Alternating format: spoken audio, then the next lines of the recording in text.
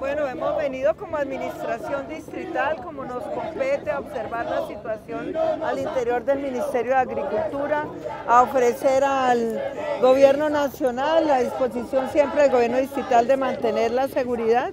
y observamos que están esencialmente miembros de pueblos indígenas de Colombia en los distintos pisos, no hay gente encapuchada, son eh, representantes de distintos pueblos agrupados en la Organización Nacional Indígena de Colombia y están los líderes de la cumbre agraria esperando una conversación con el ministro de Agricultura. Lo primero que tenemos que decir es que verificamos la situación al interior y hay una presencia pacífica de las distintas organizaciones que están agrupadas en la cumbre agraria. En segundo lugar, nos comprometimos con eh, tener gestores de convivencia y seguridad al interior del Ministerio de Agricultura eh, para garantizar la convivencia y la seguridad y vamos igualmente, acordamos con las organizaciones de la cumbre agraria, mantener una presencia activa de los gestores de convivencia y seguridad de la Secretaría de Gobierno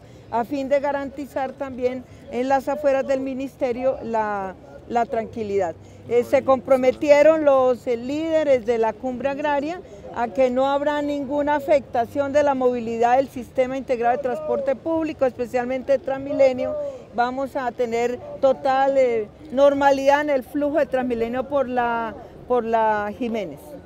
queremos también aclararlo como administración distrital, no hay funcionarios, ningún funcionario retenido, han salido, digamos, todas las personas eh, que han querido salir como funcionarios y se está esperando en la mesa que se va a instalar eh, con el Naciones Unidas, que son garantes, y algunos senadores de la República, esperar a que el ministro pues habilite los escenarios de diálogo con las distintas organizaciones agrarias. La administración distrital está aquí en toda la disposición de seguir contribuyendo con las necesidades del gobierno nacional y como nos comprometimos con el Ministerio del Interior, tanto distrito como Ministerio del Interior, en garantizar las condiciones para el alojamiento y la alimentación de, los eh, distintos sectores que han venido a la cumbre agraria, que ha sido un acuerdo con el gobierno nacional.